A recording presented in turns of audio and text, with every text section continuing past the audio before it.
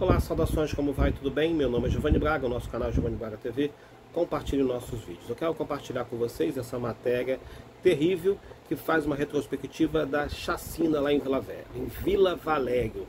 Essa é a matéria, a luz vai melhorar e você vai ver o título. Essa é a matéria. A matéria do Gazeta Online também traz a foto das pessoas que foram assassinadas. Olha aí. A luz vai melhorar e você vai conseguir ver melhor o rosto das pessoas.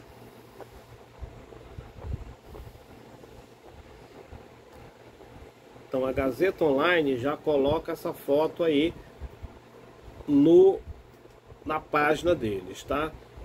Então eu vou colocar também. Então, que me aconteceu em fevereiro de 2022 e, de acordo com a polícia, foi orquestrado por quadrilha que seguia ordens de integrantes da maior facção criminosa do Brasil. Agora, por que, que eles foram mortos? É, a família que foi assassinada foi Karina Flegler, de 15 anos, a mãe dela, Clausira Flegler, de 41 anos, o irmão Leonardo Flegler e o namorado de Karine, Vinícius Silva Pinto, de 25 anos todos foram assassinados. Essa matéria de Alonso, Júlia Alonso. A chacina de Vila Valério, a chacina em Vila Valério, em que quatro pessoas da mesma família foram mortas, foi praticada por um grupo ligado aos, ao primeiro comando da capital PCC, maior facção do país, com sede em São Paulo. O crime aconteceu no córrego Flor de Maio, em Vila Valério, no noroeste do Espírito Santo, em 24 de fevereiro de 2022.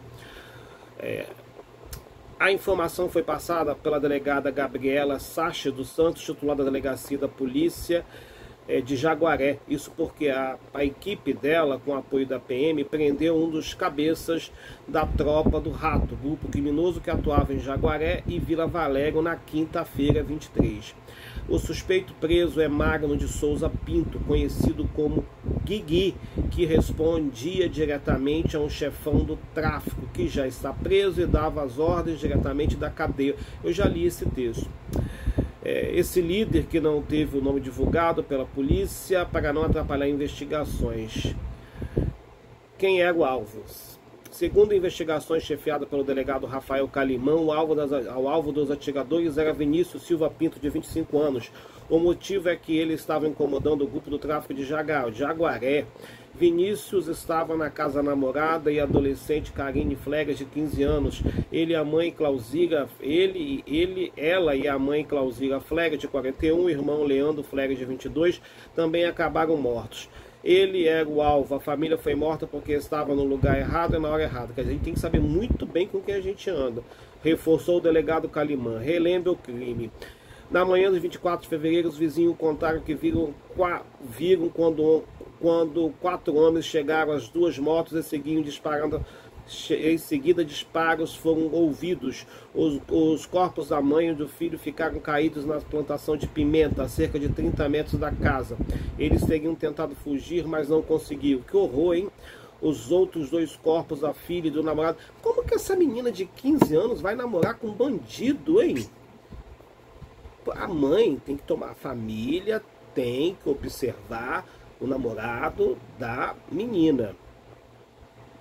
E também a família tem que observar o namorado, do, a namorada do menino, ou namorado, enfim. Hoje em dia a menina tem namorada, tá tudo assim, né? Se a menina arranjar uma mulher para ela, tem que saber quem é essa mulher. Se a menina arranjar um macho para ela, tem que saber quem é esse macho. Se o menino arranjar um macho para ele, tem que saber qual é o macho que está com ele. Se o menino arranjar uma mulher para ele, tem que saber, porque pode ser um bandido, pode ser um vagabundo e pode dar nisso, pode dar uma tragédia. Quer dizer, a menina foi morta porque estava saindo com um vagabundo, estava saindo com um criminoso. Por causa dela, a família toda morreu. Então, é, caíram tudo na plantação de pimenta. É um horror, né? Já na época do crime, a polícia informou, é, a polícia informou acreditar que a chacina teria relação com o tráfico de drogas, já que Vinícius ainda, segundo os investigadores, tinha envolvimento com esse crime na região.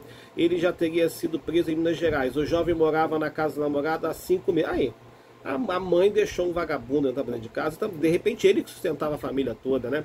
A família ainda se recuperava de uma tragédia há três meses. Outro filho de Clausira, Alan Júnior, Flery, 19 anos, foi assassinado em Jaguaré. Segundo a PC, o jovem também tinha envolvimento com tráfico de Então, resolveu tudo, né? A família toda estava envolvida. Dos suspeitos do crime foram mortos em dois suspeitos do crime foram mortos em confronto com a polícia e outros dois foram presos ao longo das investigações.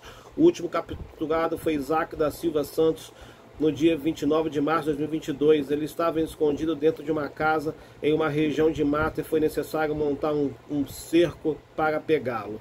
PCC e mortes no norte. Do, de dentro da cadeia, um integrante do PCC no Espírito Santo enviava mensagens, bilhetinhos para seus eh, imediatos no norte do estado. Nos bilhetes havia ordens para execução e ataques. Assim se sustentava o esquema criminoso. Em três anos foram 18 vítimas só em Jaguaré e Vila Valério. Os crimes eram violentos e por aí vai. É, minha gente, compartilhe os nossos vídeos.